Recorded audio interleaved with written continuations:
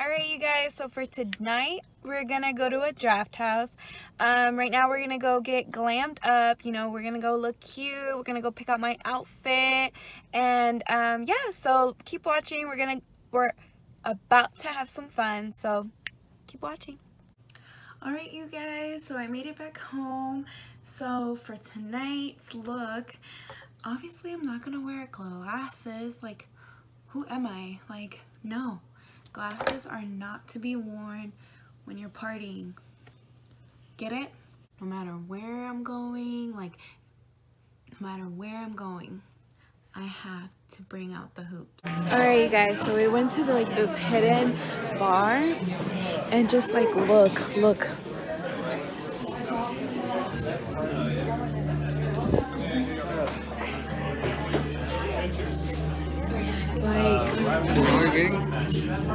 We have no idea where we are. We were supposed to go to a draft house and then we ended up at this bar.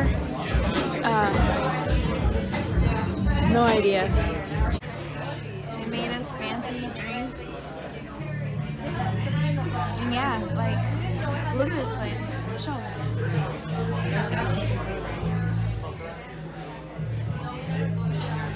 I don't know, but so far, we're liking it.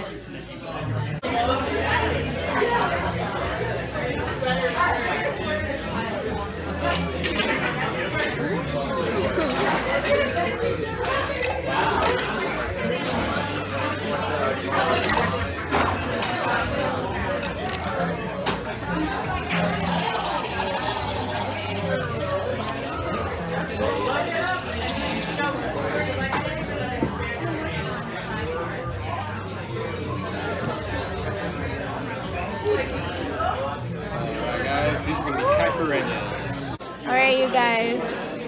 So, we're in this bar.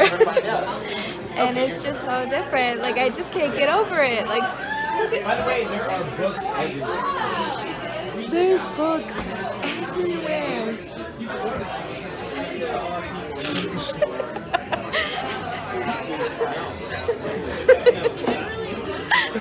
Like I think I'm in like um, Beauty and the Beast. Like there's just so many books in here. Like we're reading a book in a bar. Look at Last six months. this. Like It doesn't have. Alright you guys, so we're now officially leaving. It was called Andy's Bar. We post calls, whatever. It was a lot of it was a lot of fun. Um, it was here in the square here in Denton. We had a lot of fun. Um, if you're ever up here, which I really doubt some of you will ever be up here, but um, you know, it's a place to check out. So catch us next time.